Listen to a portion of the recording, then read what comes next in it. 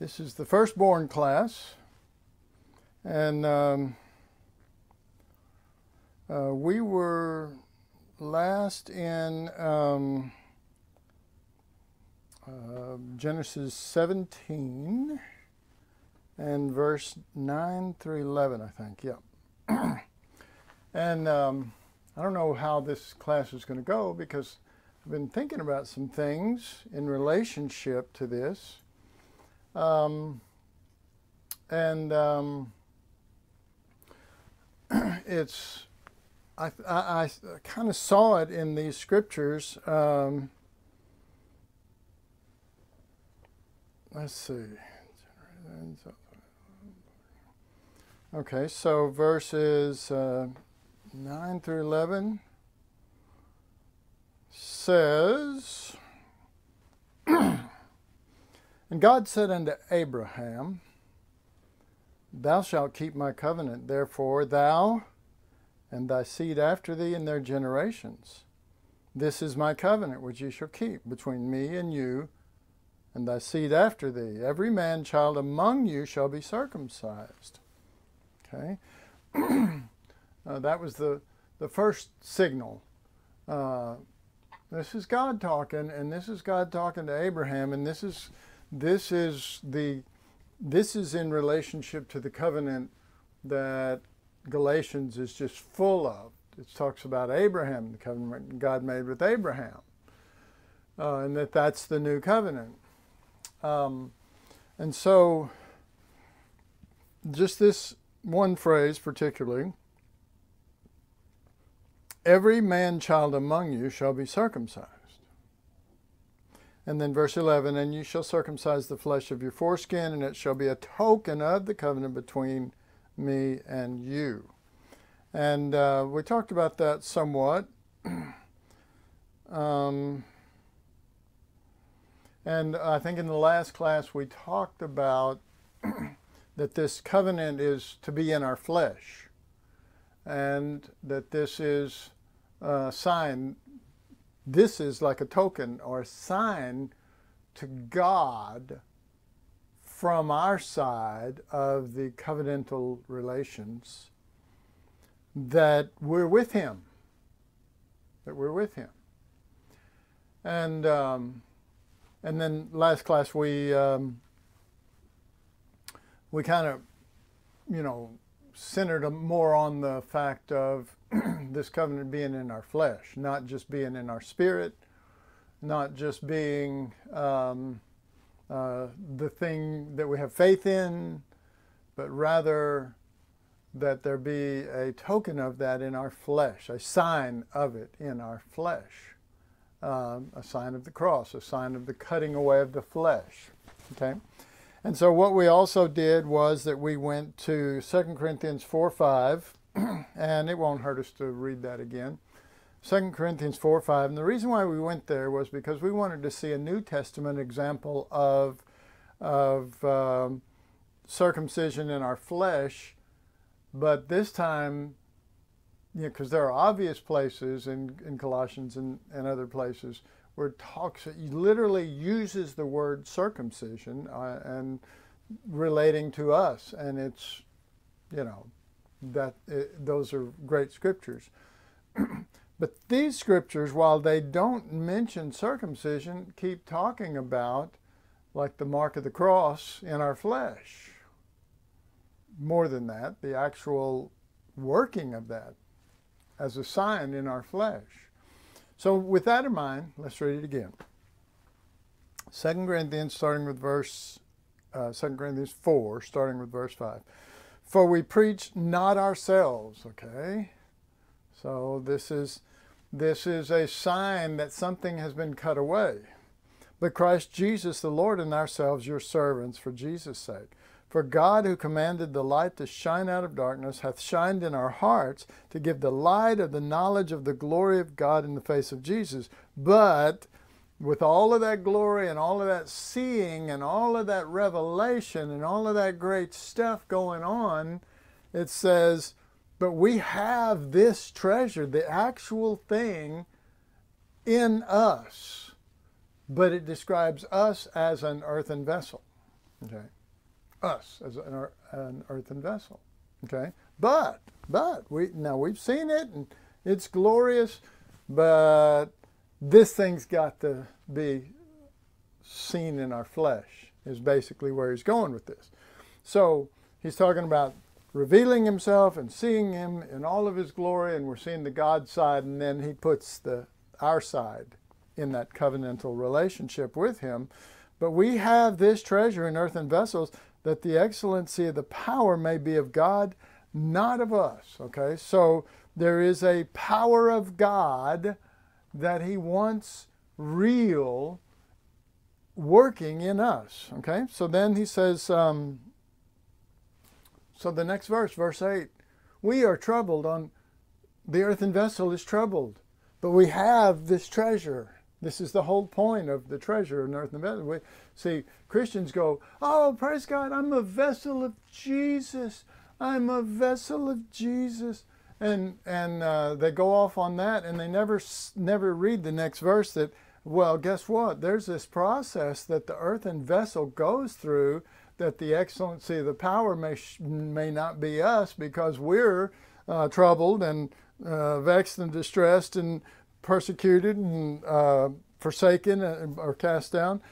But, um, but there's a, there is a power that is of God that can be shown not just in an earthen vessel, meaning that we were made of clay a long time ago, but that we are weakened vessel. In fact, I think I did a translation of this, and I think that's what I used. I used the word weakened vessels in the sense of uh, cast down, we're, not, we're troubled, we're cast down, we're distressed, you know, all these things that are going on. But there's still strength, but it's not ours, if you will. There's still power. We still have a power, but it's not ours. It's not ours. Okay. So then he, he goes through that little part, verse 8 and 9. And then in verse 10, without even stopping, you know, always bearing about in the body the dying of the Lord Jesus. Okay? And uh, he's talking about bearing it in the body. And he's talking about, now here comes the power. The power isn't that we're, we're, uh, uh, this, you know, we're persecuted but not forsaken that's not the power. The power is that we're bearing about in the body the dying of the Lord Jesus. Okay? So this is like a picture of, of uh, circumcision. This is us being cut out of the thing and Him becoming the life, but the life is a self giving life, you know? Um, uh, I'm trying to think of the scripture. I think it is in Hebrews that talks about that, that, that this is a self-giving life. And it is because it's, a, it's lamb life. And so, um, so then, so he starts, he explains the weakness that brings the vessel down to being earthen, which is the junk that's going on in the earth. But then he explains the power. And the power actually also is weaker than the weakness that we have in our vessel. It's the weakness of the Lamb, the weakness that, that God Almighty, with all power, didn't just wipe everybody out or wipe out his enemies. And, you know, he opened the door for whosoever will to be able to come, regardless, didn't matter. Well, to have that at work in us is power because we're very prejudiced or we're very um, have preconceived notions of what we like and what we don't like, you know, and um, so um, that the life also of, of Jesus might be made manifest in our body. The life of Jesus in our body, there it is. This is the circumcision now, that that cross has affected us to such a degree that the life now of Jesus can come forth out of an earthen vessel. Even, see, he didn't, what's funny in this is, well, you may not think it's funny, but he didn't strengthen the vessel and then put himself in us. You know, and, and we think that way a lot, I think. I, I think we do. I think we kind of go, you know, Lord, strengthen me and I will be a better vessel and I will go, I will be all that you want. And, you know, Lord, just strengthen me. And he comes along and he goes, well, that's really not the way I work. I'm going to weaken you, you know. I'm going to let all these things hit you, and while you won't be destroyed, you'll be, you know, cast down or whatever, you know. But then my life, because you're not doing it, trying to do it, trying to be it, trying to attain to it, trying to become something, uh, because you're so weak that it's like, you know, I, hey, I'm just lucky that I'm, uh, you know, I may be trouble on every side, but I'm not just like distressed. I'm not freaking out. That's not the power of God. That's that's that's the thing that God's doing to weaken us a little more as we go. Now, you know, this harkens back to the first couple of verses of this chapter. Um, the, the chapters before, um, Abraham and Sarah got together and decided with Hagar that they were going to produce uh, the seed. And so Hagar got pregnant, and so she brings forth Ishmael. And so God doesn't talk to Abraham for 13 years. Okay? Now that would be, you know, how's it, how's it going with y'all? Hope it hadn't been 13 years or there's an Ishmael hiding somewhere. Anyway, la la la. Um, but but then God does appear and he says, I am Almighty God. And there, you know, there's two meanings to that. One is literally that, that the, this is the all-sufficient one. The all, all resources are at his disposal, not you. So stop, Abraham, trying to do it, be it, perform it, or make it come to pass. And then the other one was the, the glorious nurse, meaning a nursing mother. And we talked about all of that and that, you know, back then they didn't go down to the 7 Eleven and get a jar of milk. You drew from your mother, and this is God as the glorious nurse who is, is filling us with the things that are in Him. And it is nutrient rich. I mean, I don't know if you, you know, See, I I remember when nursing wasn't, you know, looked down on by some people. I mean, I, I Deb nursed and I thought it was beautiful. But, you know, nursing babies get really chubby and rolls and everything, not because they're fat or overfed or anything, but because the nourishment is so incredible that they just are pink and alive and all this kind of stuff. And some of you ladies out there know what I'm talking about. um, you very seldom see a really skinny nursing baby. Uh, well, that's as newborn babes desire the sincere milk of the word. We shouldn't be skinny. There's no way we should be skinny. Sorry for jumping over in First Peter. um, so he appears to him and he's ex- he's explaining to him this, but then he says, "But I want us to be in covenant. And so he starts laying this out and he starts talking about circumcision. And, and circumcision um, being in our flesh, being assigned to God, as it were. Uh, there's so many things that I'd love to jump off on this. Um, and and maybe I should because I was thinking about it today. I was thinking about circumcision. I was thinking about um, the uh, well. Let me take one more step back, and y'all remind me that I was thinking about circumcision in re, in regards to Exodus, uh, the the Exodus. Um, I was thinking about uh, the prodigal son, which is where this whole thing started. I don't know what number are we on and that's not even that doesn't even go through Exodus and prodigal son and all that. but that's where the Lord first started showing me that that the prodigal son was weakened and this prodigal son had messed up and you know you go okay well there's no hope for that guy but the son was still in him the son was in him and as as long as he thought he was the son, there was a problem. And then he would do things that proved that he wasn't the son. In other words, there was no sign or token of the covenant in his flesh. There was no death, there was no crucifixion, there was no circumcision. But then the son comes back with all, you know, I am not worthy. I, you know, I mean, you know, we're again, we're trying to go, oh God, just strengthen this vessel, and I'll be, I'll be such a good Christian, and I'll be everything you want. Okay, yeah, no, you won't. Stop praying like that. Start praying, Lord, fill me with your Son, and do whatever it takes. We always get afraid of that. So if you don't want to pray that, then say uh, just kill me anyway.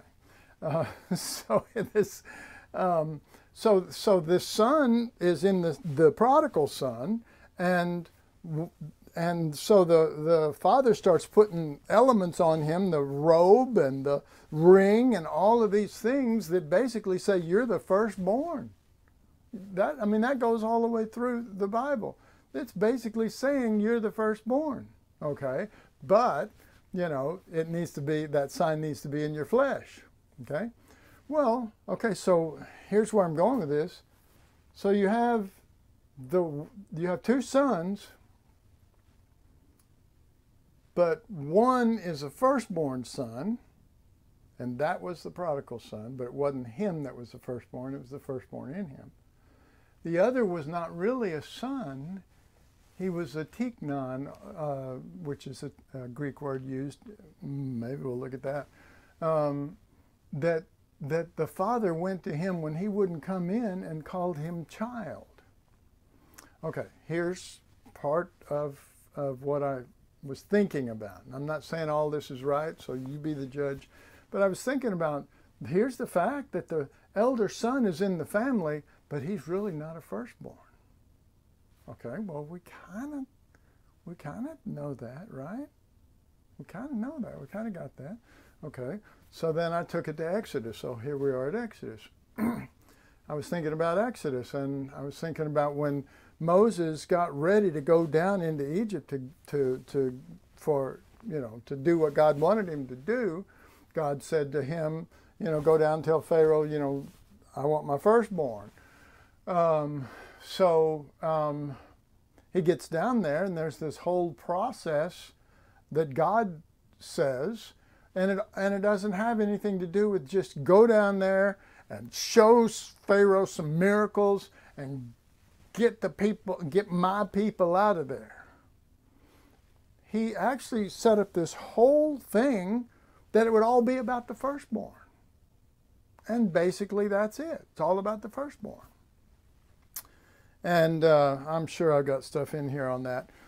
but, uh, but the point being that um, God wants his firstborn, and his firstborn is going to be in relationship to circumcision, or this token is going to be in our flesh, which will be the cross, whereby the firstborn that really is the firstborn, not that we are, the one who's the firstborn in us will come forth. So so that he sets up this whole thing. Well, the lamb died for the firstborn. Okay? For the firstborn. And the blood was put on the doorpost to show the death angel that this represents the firstborn that, that God has. In other words, this wasn't the, the token in their flesh yet. This was the token from the Lamb giving himself. Okay?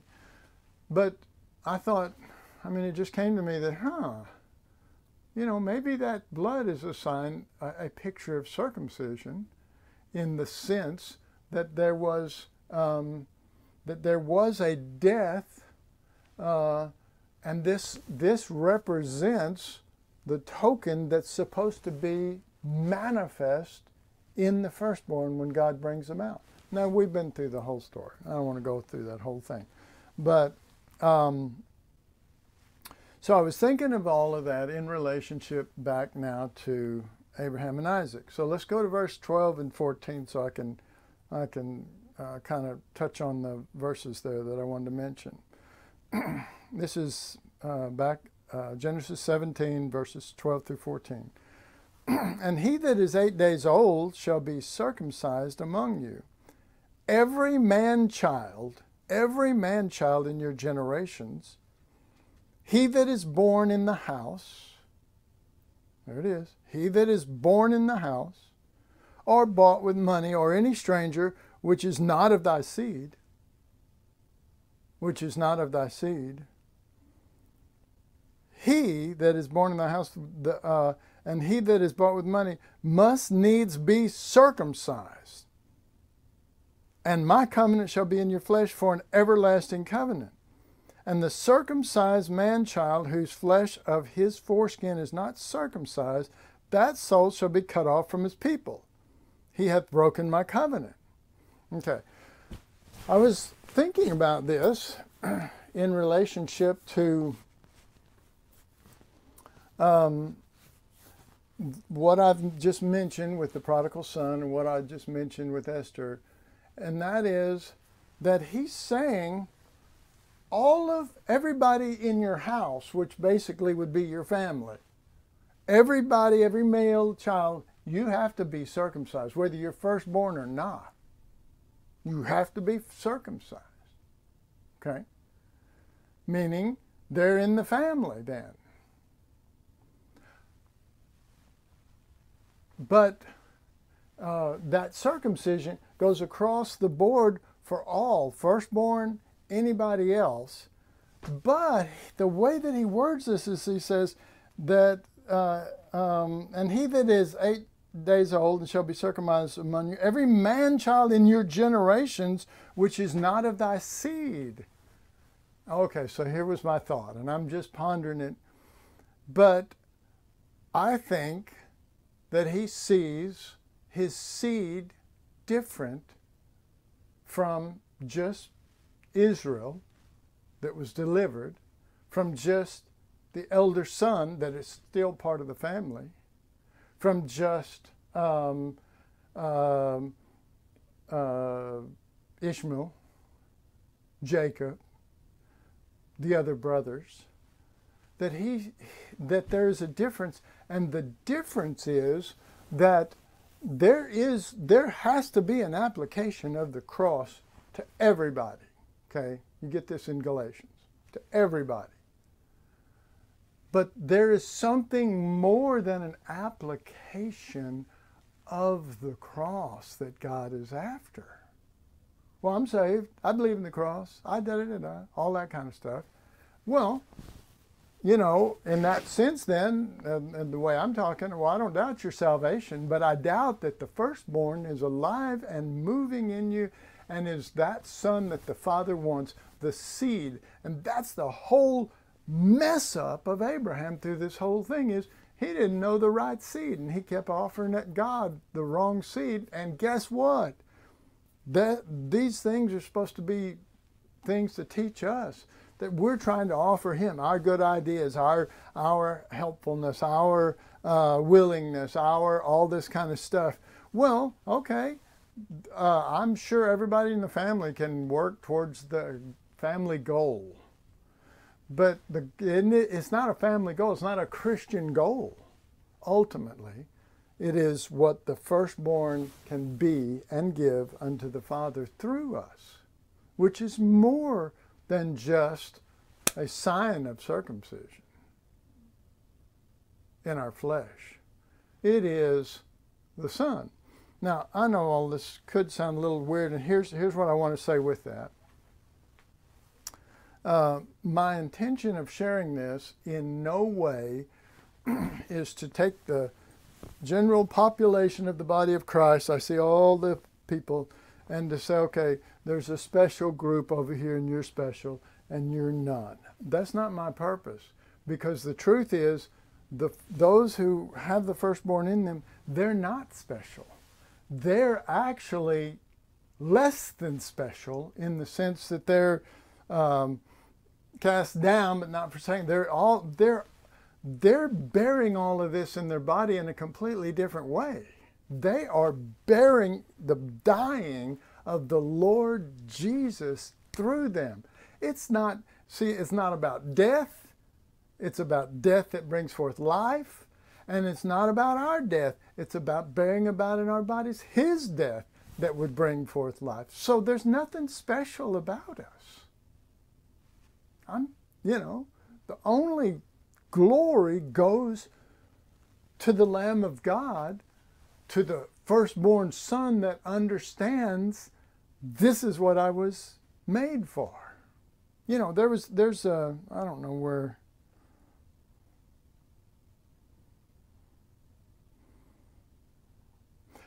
Yeah, I've, I've got it right here.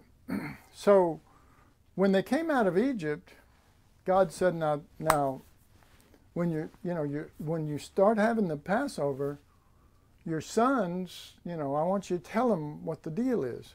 And this is uh, Exodus 13 verse. This is Exodus 13, 14 and 15. 13 verses 14 and 15.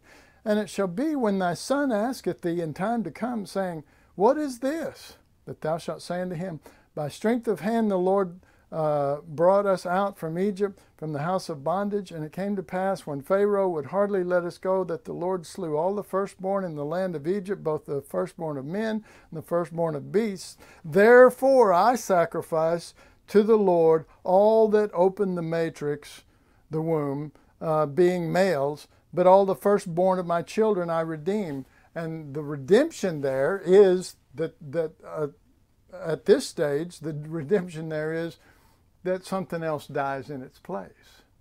But God wants the firstborn, not He doesn't just want the firstborn son to come to earth once, die for us, and then we live different from that. He wants that same firstborn son formed in us so that we can manifest that. Okay? And so um, so if a person was worried about salvation over these kind of teachings or whatever, there's nothing to worry about. The question is, do we do we grasp his heart? Do we sense his his deep desire uh, in all of this? Um, let my firstborn come to me in sacrifice, and that's really what these verses are talking about. That that's it. Um, um, Therefore, I sacrifice to the Lord all that opens the womb. That spirit was meant to be carried on. Now, we know that from previous classes in Exodus. But, so I started looking at some verses in Galatians. Um,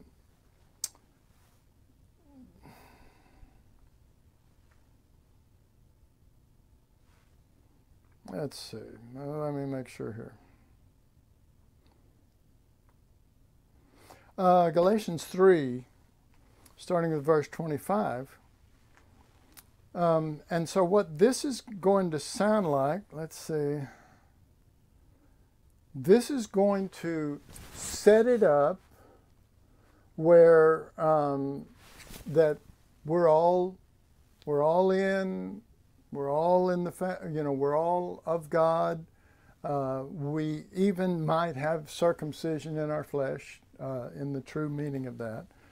Um, and that, so it says, but after that, after that faith has come, we are no longer under a schoolmaster, but we are all the children of God by faith in Christ Jesus. For as many of you has been baptized into Christ, children of God. Now that's not a mature son. Um, baptized into Christ have put on Christ. Um, there is neither Jew nor Greek, there's neither bond nor free, there's neither male nor female, for you are all one in Christ Jesus, for you are all one in Him. And if ye be Christ, then are you Abraham's seed and heirs according to the promise. Okay, so that last verse, verse 29, um, threw me a little bit because it says, But if you're Christ, then are you Abraham's seed and heirs according to the promise. But I started because I'm thinking that the seed is Abraham's seed is Isaac. It is Jacob. This is the firstborn. This is the seed. This is what he's talking about. Is Joseph. Okay, and in all of those we we see major manifestations of the firstborn son. Okay, so that kind of threw me for a second. And if you be Christ, then are you Abraham's seed and heirs according to this promise. But whoever did this Bible thing um, made a chapter separation there and thought he was going to another subject when I think that this verse, because they didn't well, weren't numbered and anything else, people put those in, that this verse was setting up the next verse. Okay, so now listen to this. Okay, so we're saying, we're, uh, I'm saying, and you don't have to believe what I'm saying, but it's, I think there's really something to this, um, that, um, uh, that in God's heart, uh, Isaac was the seed, counted as the seed, and Ishmael was in the family because he was. And he got circumcised too. You know that, I'm sure. So did Esau. Yeah, because why? Because they were in the family, and God told everyone that's in the family needs to be circumcised. But they didn't have the spirit of this thing. Okay? So, um, so he's saying, so let me read it like verse 29 going right into chapter 4, verse 1.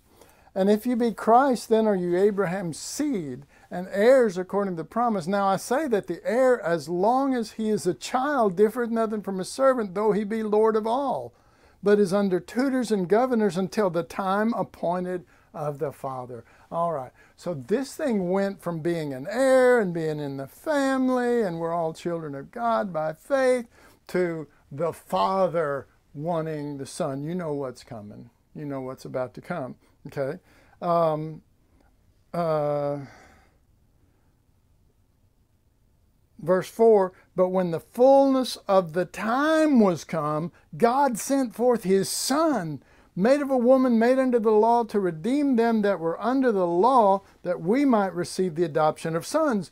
He already said we were all in the family. He already said that we are, you know, we have faith and that, you know, that sort of thing.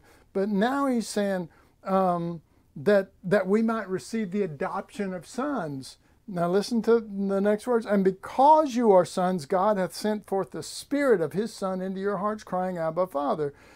That's that's much that's not salvation. That's not in the family. That's a that's a fullness of time that can come in you, in me. God is no respecter of persons.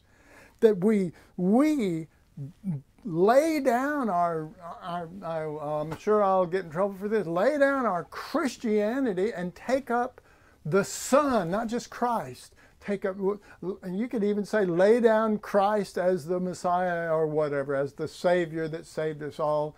That's, that's secure. We don't have to worry about that. We don't have to make it happen. It's already happened. But to begin to come to a fullness of time to not miss his visitation, to not miss the timing of the Lord when he wants at this time, at this time, to begin to reveal that Son in us, whereby we cry, Abba, Father. And it's a whole relationship. Listen to that relationship. It's a relationship between the Father and the Son. It's not even us being special. It's not us um, above or, or exalted or thought more of. In fact, in a sense, less because the firstborns will be the first ones to lay down their life because the firstborn lives in us and will give himself in that way. Okay, so um, so that that spirit of adoption. I mean, I I I, I think I saw it in relationship to uh, the prodigal son. That spirit of adoption and and he's crying. I can just hear him. I mean, they do the sacrifice and all that, and then they make merry, and they're just in there just dancing, and it's it's the it's the father and his son, his firstborn son, that's filling that relationship now, even though that son had been in the family for a long time and only treated himself like a family member. I'm, you know, we're all the um, but after faith, faith for salvation has come, for you're all the children, the children of God by faith in Christ Jesus. Now I mentioned mature sons because this is, you know this, but um, Galatians 4 says you're no longer a tiknon, a child, um, and you don't you don't really, in a sense, you're no different than a servant, though really you are Lord of all, but you're not that. You just haven't come to the time when that son comes forth. Okay, and uh, well, in the prodigal son story, I'm sure you remember when I got to it, I was shocked when uh, in the Greek it says that when the elder son would not come out, that the father had to go out to that son, coax him in, come on, come in, come in, you know, come in, you know, and and come in, come into the spirit and come into more than just being in it. Well, I've been at the family this whole time. I've served you without, you know, all this kind of stuff. Well, when he spoke, when the father spoke to him, he said, uh, I think in the, the King James it might even say son, but if you look it up, it's tiknon. It's this word right here. It's child. You haven't come to the place where you have been cast down and uh, all these things have gone through you and your earthen vessel is so prepared now because you have no power so that he's able to introduce a whole new kind of power the power of a laid down life, the power of the cross, the power of all of that to be able to work in you. But it doesn't work by teaching the subjects of the power of a laid down life or the power of the cross. It comes by the firstborn Son, God sending him forth into our hearts, and we start crying, Abba, Father, not, not by us, but by him. Abba, Father. That's a very intimate word. And so, um, so I, you know, I don't know. I could be crazy.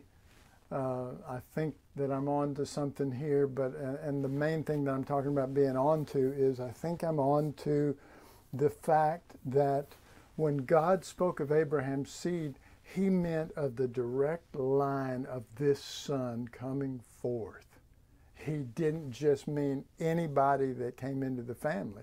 Now, anybody that came into the family, they needed to get circumcised, or you're just like the heathen out there.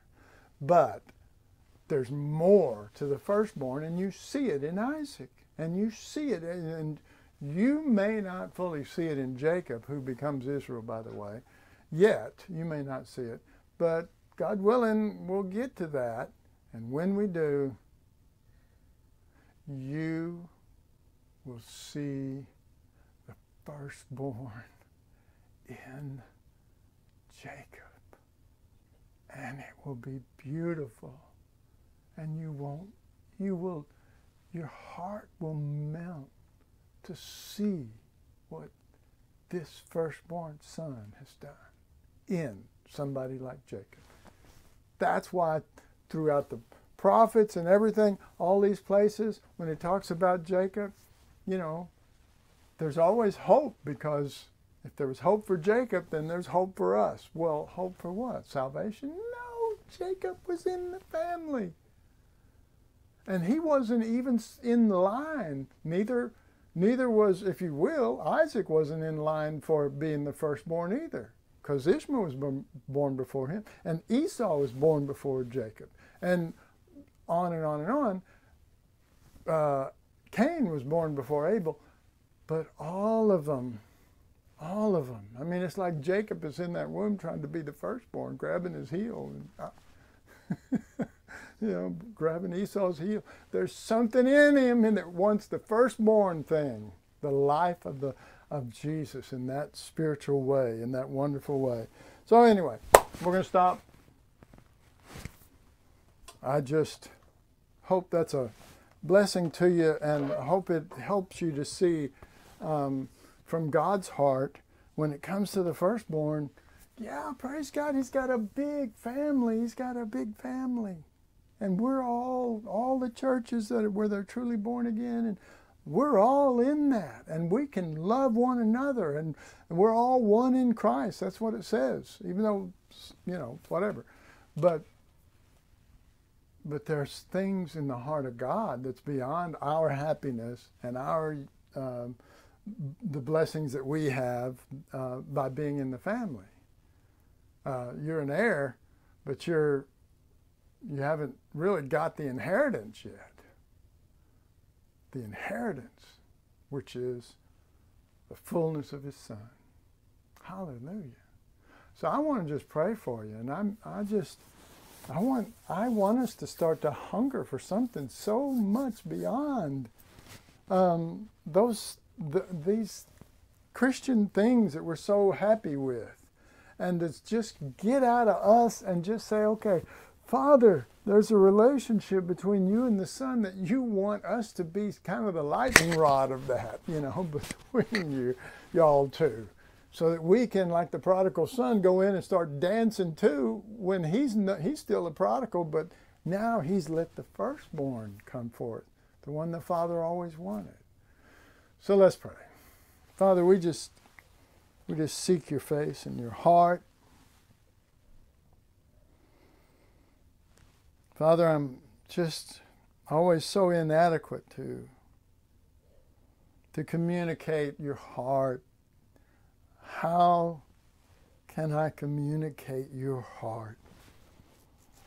Only by the Holy Spirit. Father, how can I help people to be moved more for you during this great time of visitation? I can't. But I cry out for it. I long for it for your sake and your son's sake and the and the and the reality of this thing that you've always longed after. Father, I always hesitate to even share like this for fear that somebody will start saying, well, that we're the firstborns, and therefore would start acting like we're something special and we're better than regular Christians and all that. And Father, that is an abomination unto you. It is Christ, it is your Son, it is the firstborn. Father, that if anyone read Colossians or many of the other scriptures in the New Testament listing the firstborn, they would see how high and how exalted he is. But Father, you want that same Son in every one of us so that we would be a, such a, a vessel, an earthen vessel, a broken vessel, that we would not be a hindrance to His nature and His way and His directions. So, Father, please draw us, draw us more into not these words or these teachings. They're all a failure unless your Spirit is with us. Draw us in to this union, this relationship, this oneness between you, Father, and your Son in this manner. I just pray for that. I just, I just cover all of us that hunger for these things. I just cover us by whatever authority or ever covering you've been able to give me as a minister so that we could spend our time grasping and growing and loving and finding new and new means and measures. Father, thank you that we can even pray, that we can even pray for these things. Thank you. You're a good Father but you're a better father to your son, and that's who I want coming forth. So thank you. Thank you in Jesus' name.